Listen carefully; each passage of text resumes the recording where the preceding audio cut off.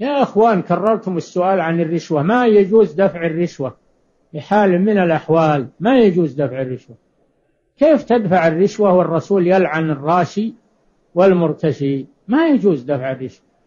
دور طريق غير دفع الرشوة.